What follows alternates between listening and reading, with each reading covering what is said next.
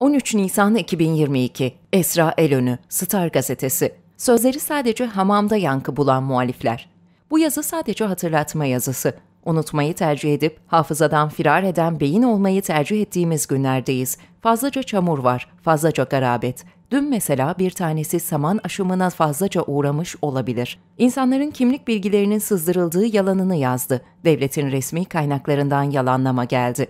Bunu niye yaptıkları çok aşikar. Yıkamayacağınızı anladığınız bir şeyi yıkılmış gibi gösterme acizliği. Bunun adı zangalaklık. FETÖ'nün müfteri temsilciliği, giderine bırakılmış tufeyli zigotluk değilse nedir? Asalakların oluşum hikayeleri yoktur. Akışına bırakılmışlardır. Nereye tutunurlarsa orada döllenirler.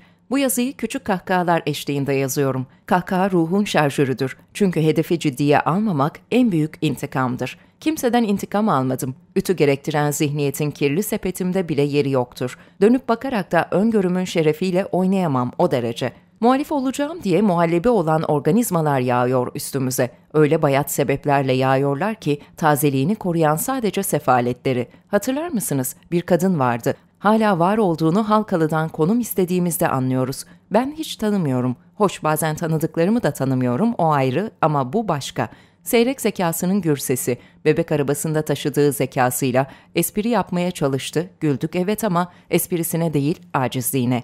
Kulağının arkasından dalgalanan maskesi de yüzünden firar etmiş, yandan yandan sallanıyordu. Şöyle haber yapmışlardı. Çin'e doğru yola çıkan TCDD'nin ilk ihracat treninin Halkalı'dan geri döndüğünü söyleyen sözcü yazarı Özlem Gürses alay konusu oldu. Türkiye'den Çin'e gönderilen ilk ihracat treninin yolda kaldığı yalanıyla bir süre eğlenmişti hatırlayın. Sonra anladık ki bunların bakamayacağı kadar hızlı tren yapmışlar. Buradan nereye varacağım? Muhalefet yoktur, bitmiştir. Muhalefet saman aşımına uğramıştır. Sözleri sadece hamamda yankı bulan şeyler için cümle kurmaya çalışmanın vebali kimin olsun? Bakın bunların muhalefeti bu işte. Market arabası sürecek ehliyetleri yoktur ama size liyakat diye diye söverler. Hep söylüyorum, yine söyleyeceğim. Tek eksiğimiz milli muhalefet. Yapıcı muhalefeti de biz yapmak zorundayız. Milli hamleleriniz sekteye uğradığı anda çamurda köçek eteğine dönüşerek sevinç naraları atacak bu şeylerin hainliğinden binlerce kez evladır milli muhalefet.